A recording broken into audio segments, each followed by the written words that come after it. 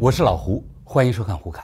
美国总统拜登二十二日在一档访谈节目中说，如果身体状况允许，他计划二零二四年下一届美国总统大选时竞选谋求连任。当主持人问他这是否意味着他与特朗普的复赛时，拜登笑了起来，说：“啊，你这是在诱惑我。”然后呢，他说：“如果特朗普是共和党提名人，自己为什么不与他竞争呢？”他表示，这会增加他竞选连任的可能性。如果三年后又是拜登和特朗普这两个老头决战美国大选，那就太好玩了。去年两人决赛时，特朗普呢七十四岁，拜登七十八岁，已经让很多人说闲话了，觉得呢美国真是找不出人来了，整来整去整出俩老头。当年克林顿多年轻啊，当总统时才四十六岁。奥巴马当总统时也不过四十七岁，但去年美国是真正的两个老爷爷带领美国的两派互掐。这要是到了二零二四年，两个老爷爷就更老了，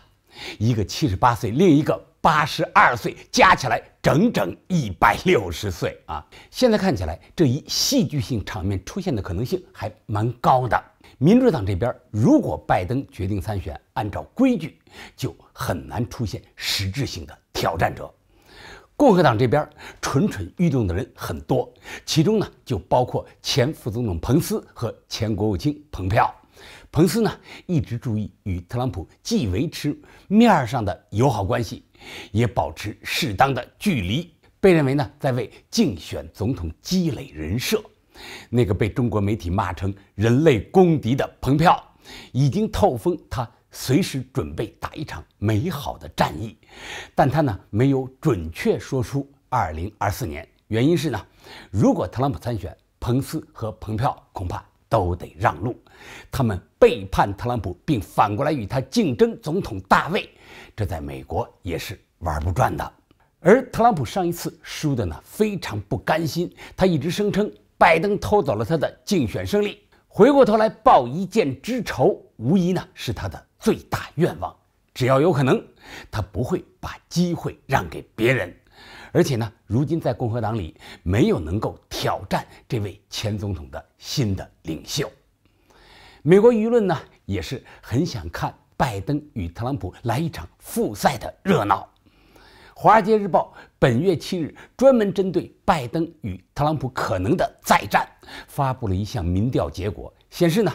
一千五百多名受访者中，支持拜登二零二四年连任的呢占百分之四十六，支持特朗普回到白宫的只少了一个百分点，占百分之四十五。同一项民调显示，高达百分之六十三的美国人认为这个国家呢走在错误的道路上。